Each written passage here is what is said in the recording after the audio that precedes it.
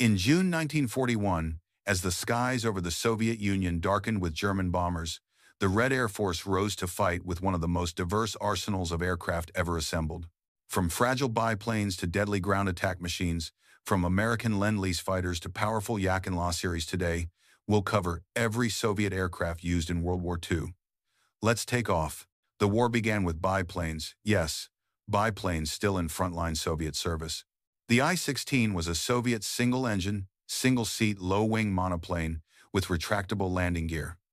It was the first monoplane fighter of its kind to enter service and formed the backbone of the VVS at the start of World War II. This 1,930 seconds biplane fighter had a gull-shaped upper wing, the nickname Chaika, and saw extensive service with the VVS and in the Spanish Civil War. A development of the I-15 with a straight, longer upper wing. 2,408 were built between 1,937, 1,940, and they served as interceptors and attack aircraft. Late 1,930 seconds, Sesquiplane fighter developed from the I-15. It introduced a retractable undercarriage and powered by a radial engine, with 3,437 built, designed in 1938 as an all-metal replacement for the I-16. Prototypes used M88 engines, but after two fatal crashes and the development of the La-5, the project was cancelled. The I-190 was Polikarpov's last biplane fighter, an M88 powered improvement of the I-153 built in 1939 that never entered production. The follow-on I-195 proposed a more powerful M90 engine, enclosed cockpit and heavier armament, but remained a paper project. The Yak-1 was a single-seat monoplane fighter with composite structure and wooden wings. Introduced in 1940, it was maneuverable and easy to maintain and provided the basis for later Yak fighters. An improved Yak-1 with a bubble canopy, shortened fuselage, and heavier armament 12.7 millimeters UBS machine gun. Production of this low-altitude variant began in August 1942. Small, light, and rugged single-engine fighter, known for its high power-to-weight ratio and superb maneuverability. It was introduced in 1944 as a low-altitude tactical fighter and became a pilot favorite. Derived from a two-seat trainer, the Yak-7 proved tougher and simpler than the Yak-1. The definitive single-seat Yak-7B reduced wingspan and landing gear complexity and saw large-scale production. A lightened derivative of the Yak-7B, the Yak-9 entered service in late 1942 with an all-metal structure that allowed extra fuel or larger cannon. Variants included the long-range Yak-9 DDD, 37mm armed Yak-9 tons, 45mm armed Yak-9K, fighter bomber Yak-9B, improved Yak-9U, and all-metal Yak-9P. A total of 16,769 were built. Early World War II fighter built largely of laminated wood to conserve strategic materials. First flown in March 1940, about 100 were produced, but it was underpowered and led to the improved La G3. Refinement of the La G1 using delta wood construction. Although modern, when Germany invaded, it was heavy and unpopular, yet over 6,500 were built, and it served until replaced by radial engine La-5. Conversion of the La GG3 to use a powerful Shvetsov H-82 radial engine. The La-5 became one of the VVS's best fighters and could challenge German types on equal terms. The La-5F introduced a cut-down rear fuselage for better pilot visibility, while the La-5FN added a fuel-injected engine and lightened airframe. Combined, these variants significantly improved performance. The La-5F introduced a cut-down rear fuselage for better pilot visibility, while the La-5FN added a fuel-injected engine and lightened airframe. Combined, these variants significantly improved performance. High-altitude fighter designed in 1939 using steel tubing and wood, handling problems limited production to 100 aircraft, and it was quickly superseded by the MiG-3, improved MiG-1, optimized for high-altitude interception. About 981 were in service when Germany attacked, but the type performed poorly at low altitudes and survivors were relegated to air defense duties. British single-seat fighter that accounted for most Luftwaffe losses during the Battle of Britain. Rugged and easy to maintain, it remained in production throughout the war. High-performance British interceptor, famous for its elliptical wings, it was the only RAF fighter built throughout the war, and the stopgap MKIX, with a two-stage supercharged Merlin engine, restored parity against the FW-190. American single-engined, all-metal fighter bomber, derived from the P-36. Widely used by Allied air forces, its single-stage supercharger limited high-altitude performance, but it served effectively in North Africa, the Pacific and Soviet theaters. Unique low-wing fighter with tricycle undercarriage and its Allison engine behind the cockpit. This layout allowed a 37mm cannon firing through the propeller hub, but the lack of a high-altitude supercharger relegated it to low-level combat, where it was heavily used by the USSR. Improved derivative of the P-39 with a more powerful engine and better armament, rejected for U.S. combat use, but built in significant numbers and supplied to the Soviet Union. Large, robust U.S. single-engine fighter armed with eight 50 cal machine guns. Its heavy bomb load and radial engine made it an effective fighter bomber that could survive significant damage. An early U.S. Navy monoplane fighter. It beat the Grumman F-4F in 1939 to become the Navy's first monoplane carrier fighter, but was soon deemed obsolete, although Finland successfully used denavalized versions against Soviet aircraft. The USSR did not operate the type. Finnish examples fought Soviet aircraft during the continuation war. The Il-2 was a single-engine armored ground attack plane. With 36,183 built, it became the most produced military aircraft ever, and its role as a Sturmovik flying tank made it critical in Soviet close air support. From late 1942, the Il-2 added a rear gunner and swept outer wings. The Il-2M 3 1944 used all-metal swept outer wings that restored handling while retaining the rear gunner. Photo reconnaissance. Artillery spotting conversion of the Il-2 that carried cameras instead of much of its usual weaponry. Citation, same as base Il-2. Developed at the end of World War II to replace the Il-2, the Il-10 offered better speed and maneuverability. Armament included 23 mm cannons and a rear gun, and 4,966 plus, Check B, 33 seconds, were built. The Il-10M, 1951, had a longer fuselage, larger wings, and four NR-23 cannons. The Su-2 was Pavel Sukhoi's first production aircraft, a single-engine reconnaissance and light bomber used early in the war. It was later modified into the Su-4 and ground attack Shabi variants. An upgraded Su-2 fitted with a more powerful M82 radial engine, shortages of duralumin forced the use of plywood wing structures, and armament was uprated to Berezin UB machine guns. Only a prototype was built. This wood-constructed Sukhoi attack bomber first flew in 1940. Armed with six cast machine guns and able to carry up to 600 kilograms of bombs, tests showed that a dual bomber attack role was impractical and the project gave way to dedicated attack aircraft. Twin-engine light transport, attack aircraft built largely of wood to save strategic materials.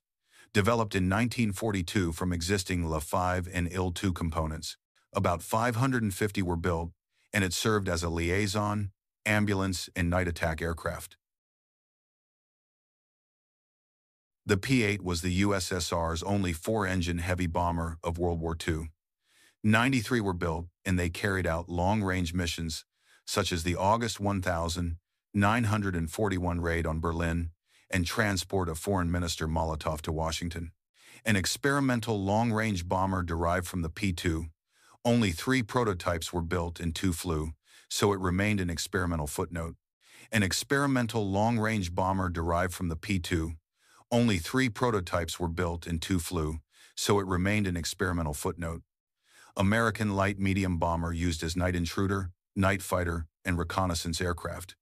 The USSR received most A-20B and many A-20G H models through Lend-Lease, making it the most numerous foreign aircraft in Soviet bomber units. Twin-engine, long-range, and torpedo bomber developed from the DB-3, widely used by Soviet Air Force and naval aviation during World War II, with over 5,000 built. Predecessor of the Il-4, a twin-engine, low-wing monoplane bomber, first flown in 1935. 1,528 were built. Twin-engine, long-range medium bomber, derived from the Bartini Stal 7 airliner. It bombed Berlin from bases in Estonia in 1941 and later served in tactical roles until being replaced after the war. Dive bomber version of the Tupolev SB with redesigned wing panels, streamlined engine nacelles and glazed nose. About 190 were built, and they represented a final effort to extend the SB design. Versatile twin-engine dive bomber considered one of the outstanding Soviet tactical aircraft, it also served as a heavy fighter and reconnaissance aircraft and accounted for 75% of Soviet twin-engine bomber output, with over 11,000 built. The Pe-2 was a simplified late-war production model with heavier armament, while the Pe-2R was a high-speed reconnaissance version. Both retained the excellent performance of the Pe-2 Citation, same as base Pe-2. Long-range heavy night fighter variant of the Pe-2, used as night and day fighter, ground attack and reconnaissance aircraft with around 360 built. The Pe-3 BIS introduced improved armament and equipment, twin-engined high-speed daylight bomber designed to deliver a heavy bomb load at fighter-like speeds, comparable to the German Ju-88 and produced in bomber, torpedo bomber, and interceptor variants with 2,257 built. High-speed twin-engine monoplane bomber, first flown in 1,934. It was the first Soviet stress skin aircraft produced in large numbers and was one of the world's most important bombers before World War II. Two-seat biplane reconnaissance and light bomber introduced in the early 1,930 seconds. Built from wood and fabric, it became the VVS's standard light attack aircraft with roughly 6,000, 7,000 produced. Improved R-5 with streamlined fuselage and more machine guns, about 1,031 were built for reconnaissance, light bombing duties, versatile wooden fabric biplane used for training, liaison, and night harassment. In the all-female 588th Night Bomber Regiment, Night Witches, Po-2 seconds carried out daring low-altitude raids on German rear areas. Twin-engine light bomber, reconnaissance aircraft, originally Ya-22. Only small numbers were built and most were lost early in Operation Barbarossa. Improved Yak-2 with more powerful M105 engines, additional fuel and revised canopy. About 90 were built for light bombing and reconnaissance. Wood-built attack bomber prototype intended to combine bomber and attack duties did not enter production.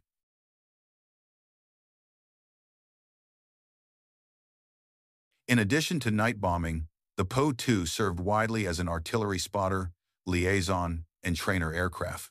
Both types were also used extensively for reconnaissance and artillery spotting. Reconnaissance variant of the Su-2 with cameras replacing some armament citation, as per Su-2. High-speed reconnaissance versions of the Pe-2, Pe-3, they retained the bomber's speed and range while carrying cameras.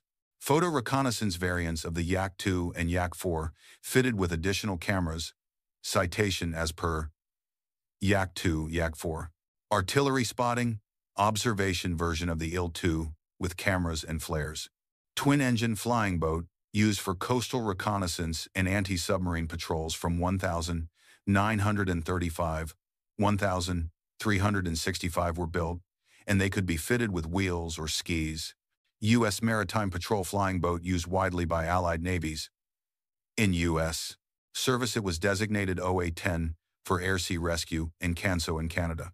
Catalinas performed maritime patrol, anti-submarine, and search and rescue duties into the 1,980 seconds. Two-seat all-metal biplane floatplane built to replace the He-55. Persistent handling and maintenance problems limited it to about a dozen examples used mainly for training and search and rescue. 1,930 seconds. High-wing reconnaissance flying boat, the only successful design from Igor Chetverikov, about 20 production aircraft were built, and they were withdrawn in 1942 due to structural issues. Experimental Soviet torpedo bomber floatplane, Gidro Gidrotorpedny, Samolyot. Only prototypes were built and it saw no service. Four-engine maritime heavy bomber, flying boat used by Soviet naval aviation, a handful served in reconnaissance and bombing roles, including attacks on German shipping general knowledge, citation not provided. British medium bomber adapted as a torpedo bomber. A few were supplied to the Soviet Navy for anti-shipping strikes general knowledge, limited citation available.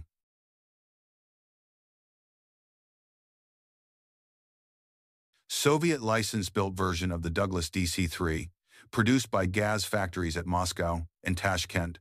From 1939, it served as a cargo, passenger transport, and light bomber with over 6,000 built. Small Soviet light transport aircraft used for liaison and communications, produced in limited numbers. Light transport attack aircraft described in ground attack section. Post-war twin-engine airliner and cargo aircraft that entered service in 1947 and replaced Li-2 seconds on longer routes. Military transport version of the DC-3, extensively used by the Allies for troop and cargo transport, glider towing, and paratrooper drops, with over 10,000 produced.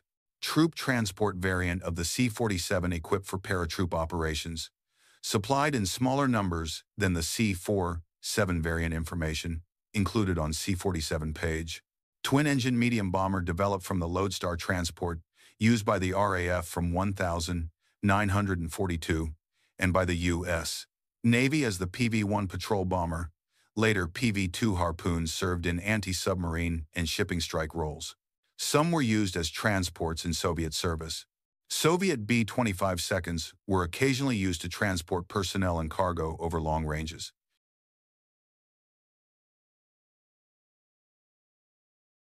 two-seat low-wing monoplane trainer, NATO reporting name Mink, used by the Soviet Air Force from 1,937 until replaced by the Yak-18.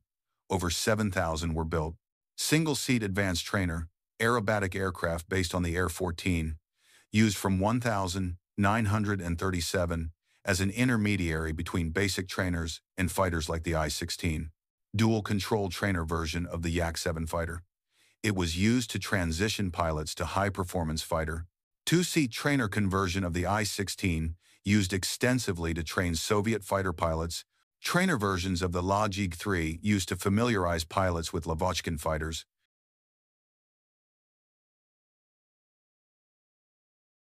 Besides bomber duties, the Pe-8 performed special tasks such as carrying Soviet diplomats, Molotov, to Washington in 1942 light liaison aircraft used to direct artillery fire, saw limited operational use. Long-range airliner prototypes, predecessors of the DB-3, IL-4, used as fast transports.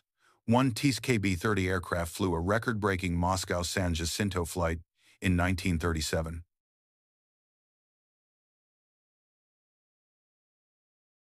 U. S.